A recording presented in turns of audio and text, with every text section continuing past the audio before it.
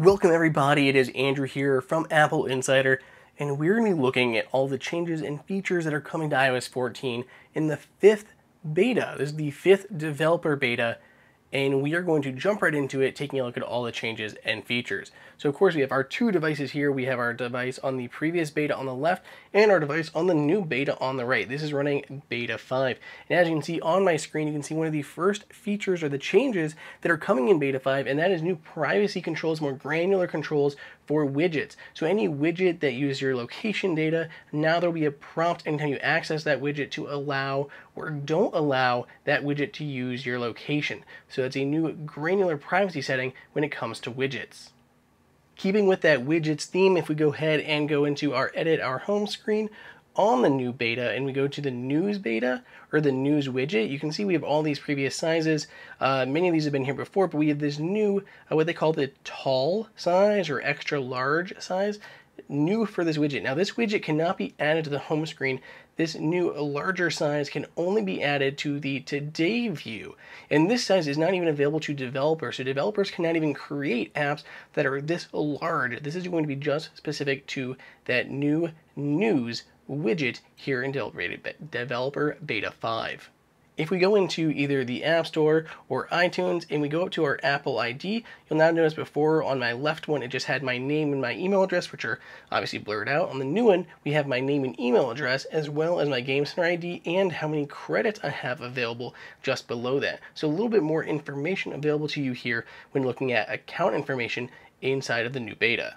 Moving along, if we jump into the clock app and we are editing something like an alarm, we can put in the time uh, manually, but there's also a new clock wheel, so you can scroll this with your finger and precisely control the time very easy. It has a nice little click animation to it, has a little bit of taptic feedback as each of those numbers goes down. So a cool little animation there going along with that new clock wheel inside of the clock app.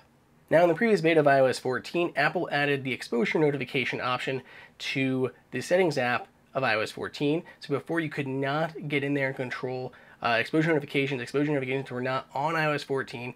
Now they are, but this has a new option at the top to turn on exposure notifications. Before that was disabled, you could not do that. You still need an app to take advantage of this, but you can now turn that on within the settings app, and there's a new onboarding process to go along with it where you basically choose your country or region, in my case the US, and then jump down to Old Columbus here, and then it'll give us uh, an option whether or not it's available in our area, and of course you need those third-party apps to take advantage of it, but you can now turn that on and onboard with this latest beta.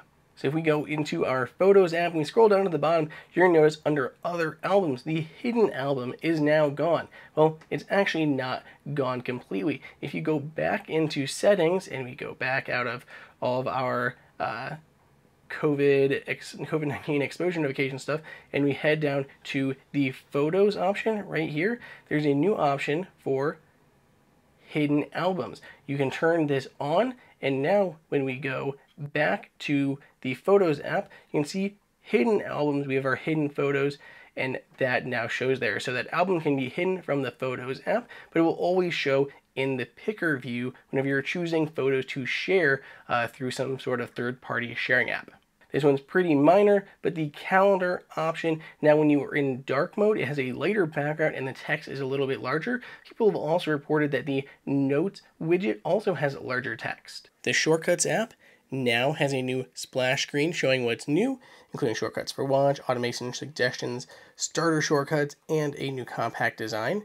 And we also heard that widgets are blocked when a parent app is blocked using screen time. Developers also have a new app clip testing option inside of settings. Now, probably one of the most important ones for me, and that is when using AirPods. So in the last beta, beta 4 was just terribly buggy, and there was this option when you were making a phone call with your AirPods Pro or AirPods, uh, it would not connect the audio.